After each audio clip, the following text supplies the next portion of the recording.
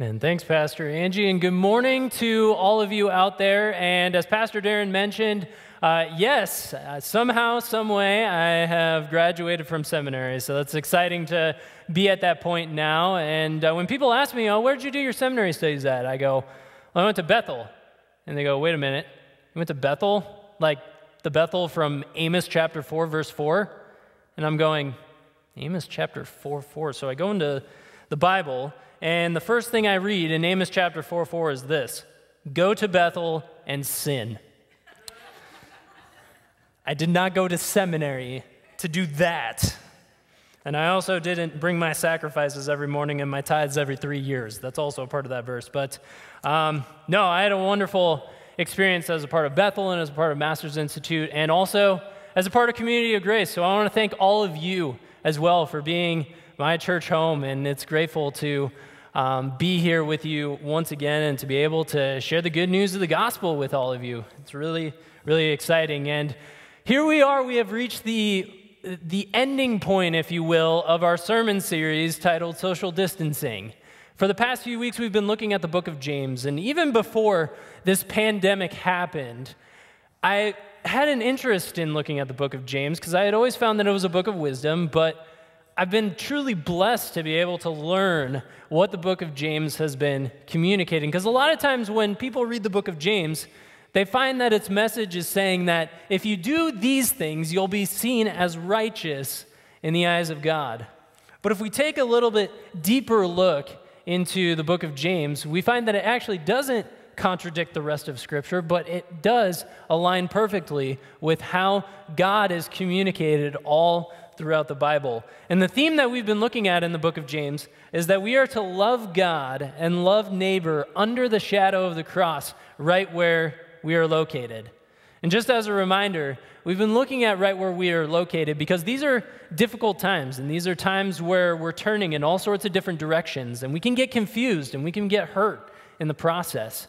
And so the question becomes where is Jesus in all of this? And where do we turn to when these times get difficult. In the very first week, I want to, we emphasized that it was faith. That was the basis for all that we do. When we put our faith and trust in who Jesus is and what he does, that then produces fruit to then go out and love our neighbor. And what this is, is that this is an ideal. This is something that if this were a perfect world, we would be in perfect relationship with God. We would, not, we would not know such a thing as sin and we would just be doing all the right things at all the right times and in all the right places. But unfortunately, time and time again, we keep going back to our old ways of living. We keep going back to what we want and what we desire in life. We're people who can fall into the trap of individualism very, very easily. And we adopt this mindset. I like to call this mindset the are you smarter than a fourth grader mindset. Now, what do I mean by that? There's a TV show called Are You Smarter Than a Fourth Grader? And basically, these people who are older than fourth grade and who have been through more education than a fourth grader are brought onto this TV show to answer questions that are basic to a fourth grader's education. And it's always funny watching these people who, some of them have master's degrees, trying to answer these questions, and they're, you know, fumbling over their words and trying to be like, what that, the answer is. And then the fourth grader, who they're going up against, answers it just like that. And I used to look at this show and I'd be like, huh, that's funny. That would never happen to me.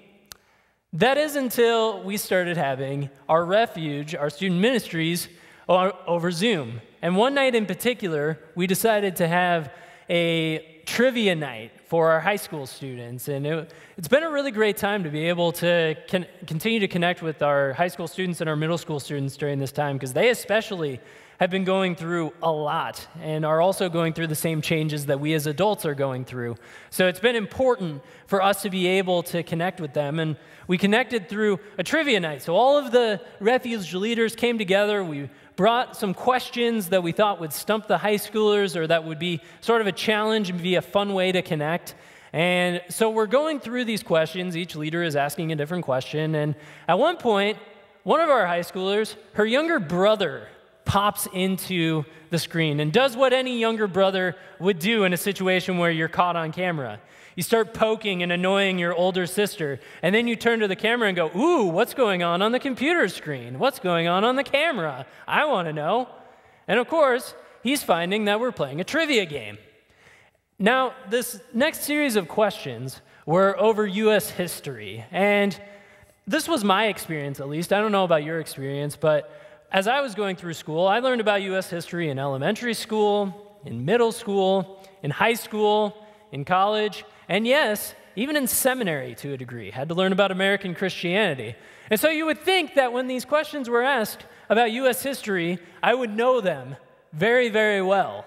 And I came into this under the assumption that, yeah, I know US history pretty well. But these questions were being asked, and I'm looking to my leaders on the screens, and they're looking back at me, and I'm going, uh, I, I, I don't know the answer to that.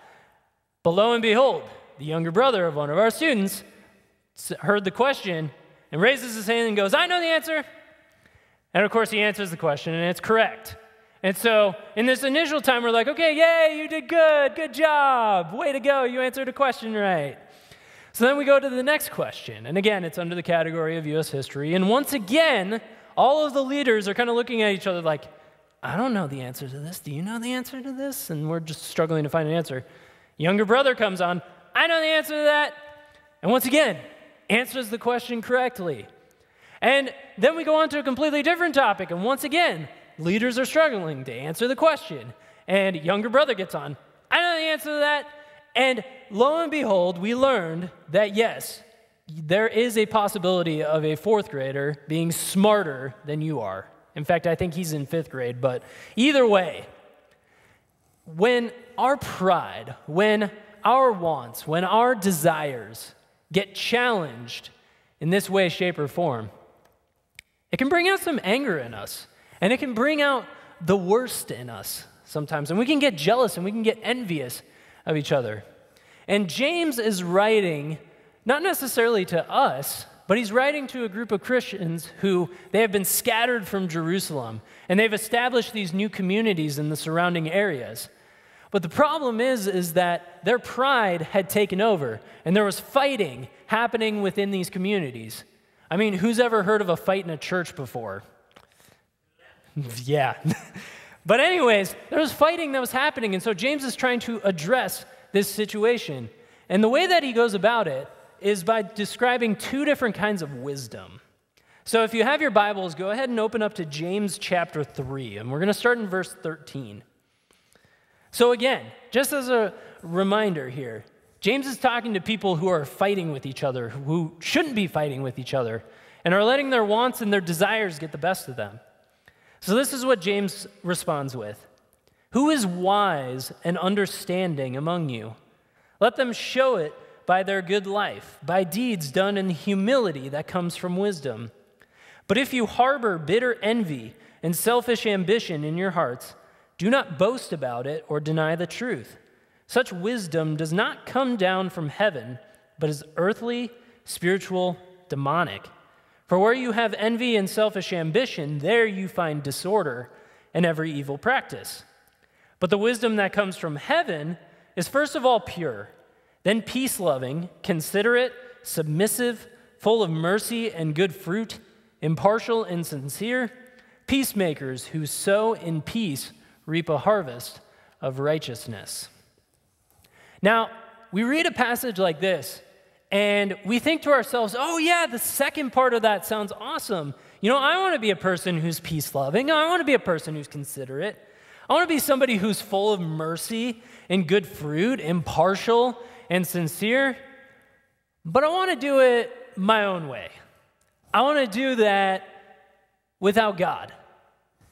And then that falls into the category of the other kind of wisdom the one that brings about bitter envy and selfish ambition. And James describes this as being double minded.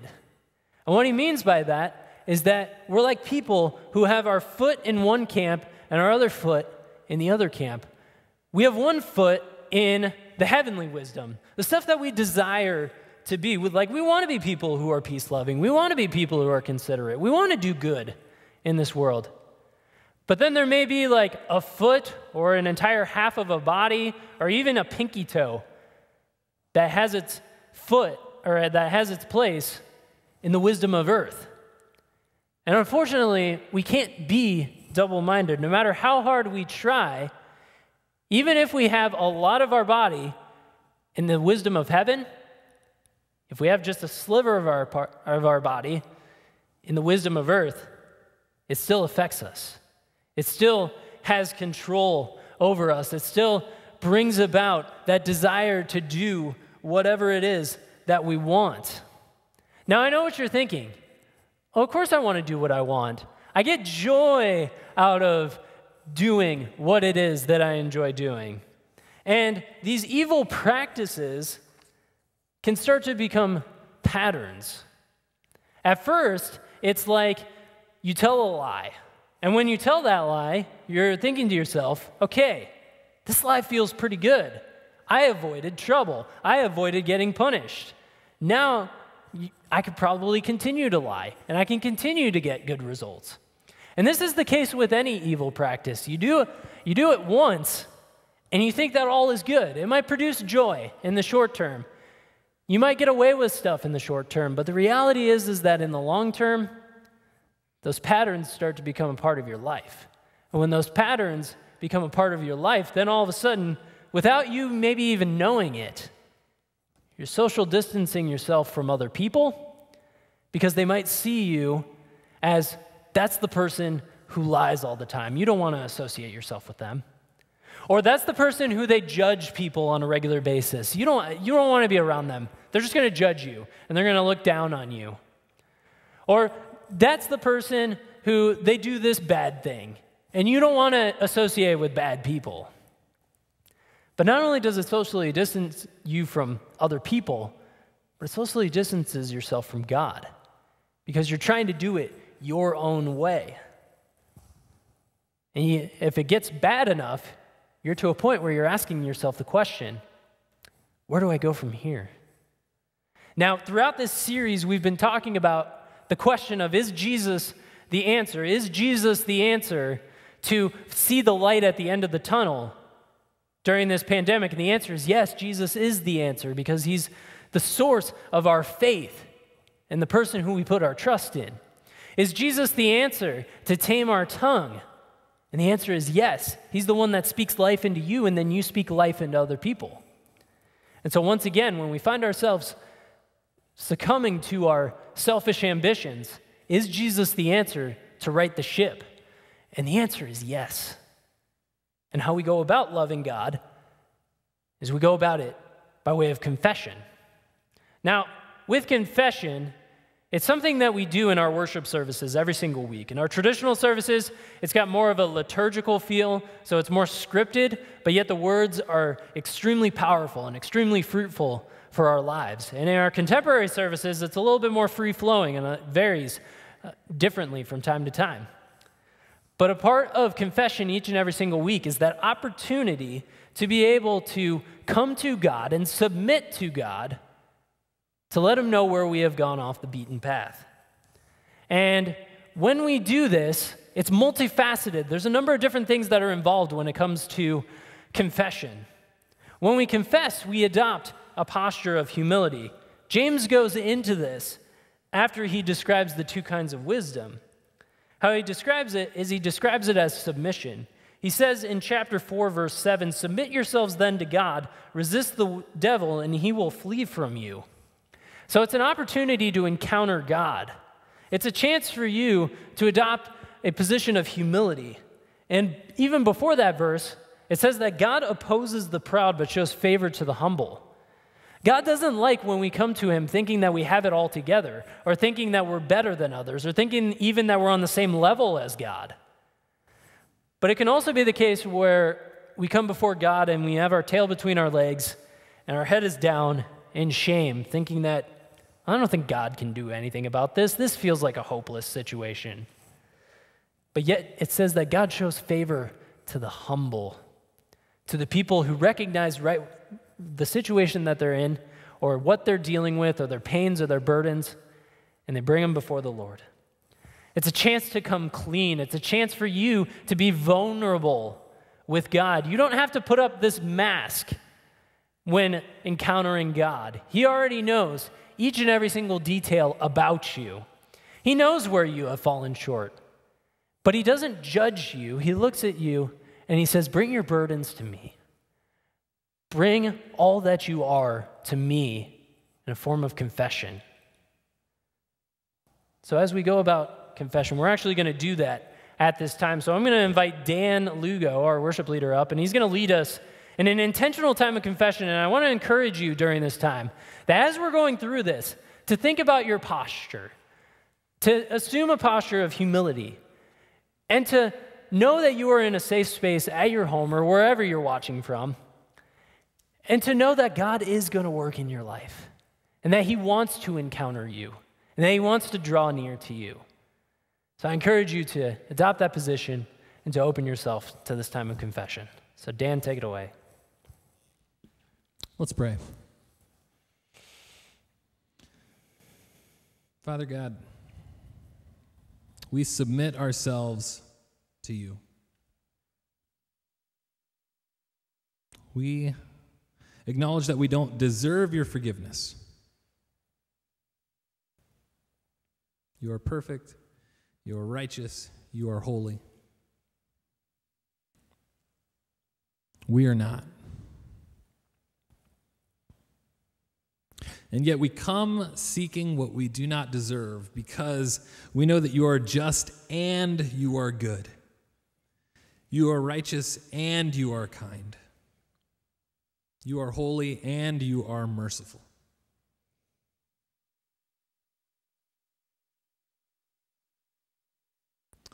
We come before you to find what we cannot give ourselves, to find forgiveness for the sins that we've committed against you and against others. We acknowledge our shortcomings We acknowledge that we haven't gone as far as we should have in loving others. We confess that we measure out love in limited portions when you call us to pour it out generously. Have mercy on us, God.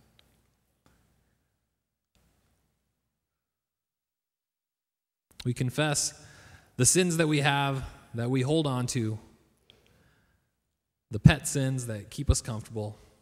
We acknowledge the judgment that we have for others who have different sins than us. Have mercy on us.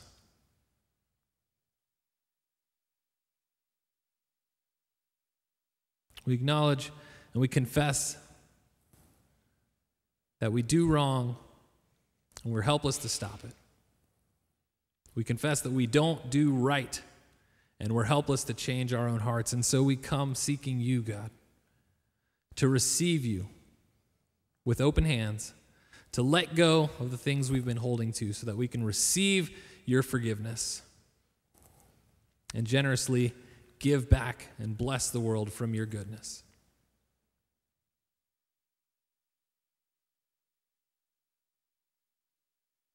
We accept the good news that through Jesus and his work on the cross, through his eternal work, we are forgiven by you. For all who call upon your name are received as sons and daughters and heirs of the promise of forgiveness and of salvation. So we look to you, God. We thank you that Jesus has done the work. And that your word tells us if we confess our sins, that you are faithful and just and will forgive us our sins and purify us from all unrighteousness. And we look to you to do that. God, make right in us what we cannot make right in ourselves because we try and we fail. But you restore us. Restore our hearts to feel and accept your goodness. Lift up our heads so we don't walk in shame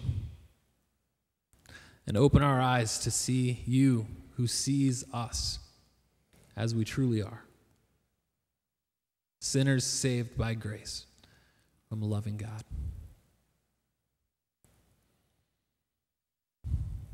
Church, if you have confessed with your mouth, believed in your heart, you believe that God has wiped away those sins from you. And so, not by my authority, but by authority of Scripture, and by the God who loves you, know that in Christ you are forgiven. Receive that in Jesus' name. Amen. Amen. Amen. Did you catch that? Did you catch that it's not just a one way relationship? It's not that we only confess our sins and then nothing happens. Something happens when we bring our burdens and our pains to God. What happens is God encounters us, He draws near to us, He proclaims over us, You're forgiven. All the bad stuff you've done in the past, all the hurts, they're healed. You are forgiven. Let that truth ring true today. And it's not something that's just a one time deal. This is something that we constantly need to do. We constantly need to bring our confessions before God. And when we do, every single time, God responds. And He responds with, You're forgiven. You are loved. I am who I am. It's all about Jesus.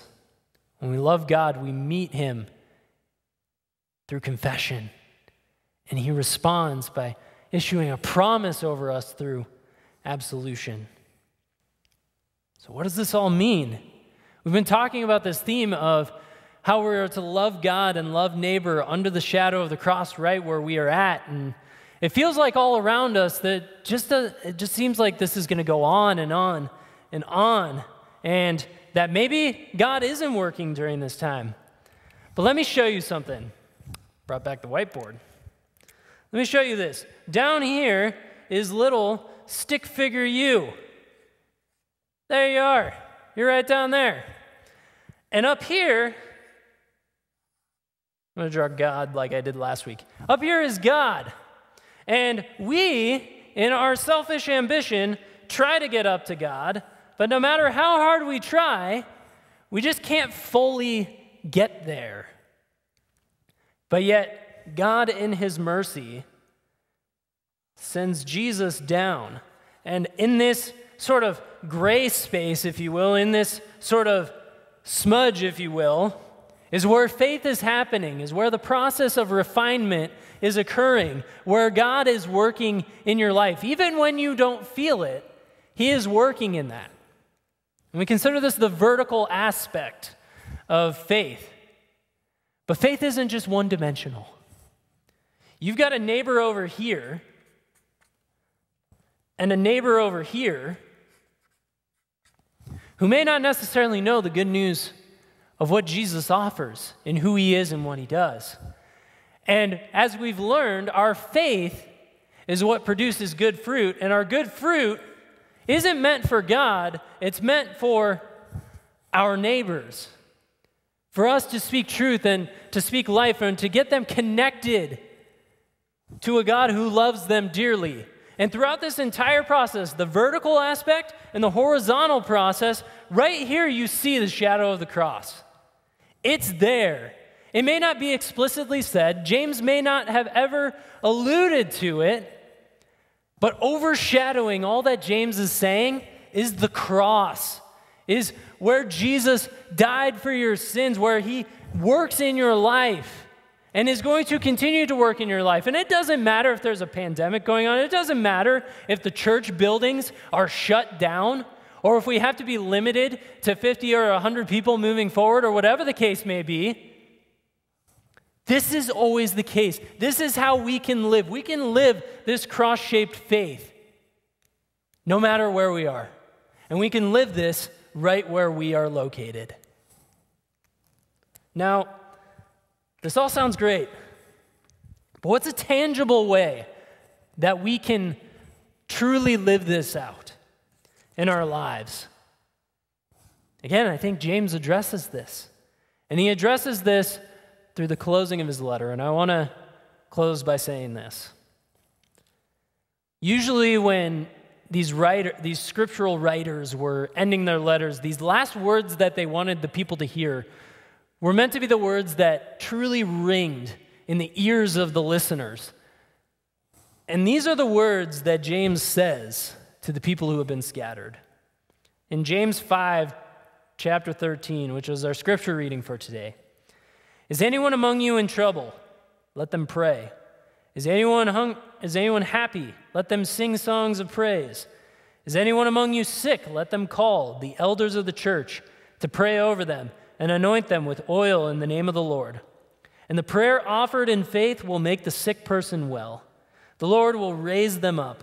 If they have sinned, they will be forgiven. Therefore, confess your sins to each other and pray for each other so that you may be healed. The prayer of the righteous person is powerful and effective.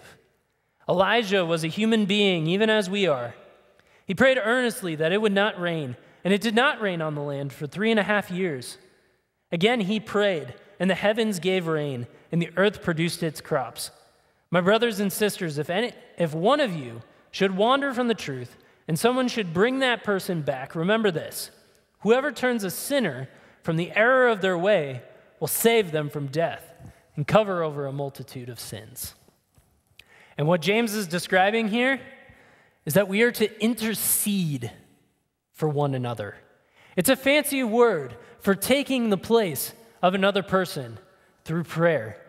Because here's the reality we're all broken, we're all sick in some way, shape, or form. And a lot of times in Bible studies or in small group settings, we can get focused on asking for prayer for physical healing, like praying that someone's cancer would go away or that somebody's surgery would go well. And I'm not saying that we shouldn't pray for those things. We definitely should pray for those things. But we need to broaden our scope of how we can invite people to intercede for each other. Because there's more healing that is involved. Maybe it's a healing that's emotional. Maybe somebody is experiencing depression. Maybe somebody's experiencing anxiety. Maybe somebody's experiencing loneliness. And you can intercede for them in prayer, for God to show up in their lives and to provide a presence and a peace that is unexplainable. Maybe somebody's experiencing relationship sickness. Maybe things aren't going well with your spouse. Maybe you're having an issue with a friend. Pray for healing, intercede on that regard. And you can intercede in any situation. It doesn't take an extraordinary person to intercede. What it takes is the prayer of a righteous person, and because we're justified by faith alone, it means we're all righteous, even though we're sinners. And because of the we are righteous, that means our prayers are going to be powerful, and our prayers are going to be effective, and they're going to make a difference during these dark and difficult times. And that's how James concludes. To a people who were fighting in and amongst themselves and struggling to adjust to a new culture, James encourages them and exhorts them to pray for one another. And as we leave here today, I want to encourage you that throughout this week, to listen to people, to hear where they are hurting, and to intercede for them. You can do this as a Bible study, you can do this on your own. But I want you to intercede for somebody in this congregation or somebody who isn't a Christian or somebody outside of this congregation. You could even intercede for three different people or more. But take this to heart. Know that this is the life that we are called to live and that Jesus shows us on a regular basis because we are people who are called to love God and love neighbor under the shadow of the cross right where we are located. So let's pray. Lord Jesus, we are so grateful for how you have spoken to us during this sermon series. And I pray, Lord, that as we go about living life, that we would just be rooted in who you are and what you do for us. We pray that you would help us to turn aside our selfish ambitions and our envy and our jealousy of one another and that we would bring them towards you. Lord, continue to work within our hearts. Continue to refine us. Continue to mold us. Continue to remind us again and again and again that we are enough, that you are enough, that you working in our lives is what brings beauty from ashes. So, Lord, I just pray that during this time that we would walk away from this sermon series being filled up with how wonderful and peace loving and gracious you truly are towards us each and every single day. We pray all these things in Jesus' name. Amen.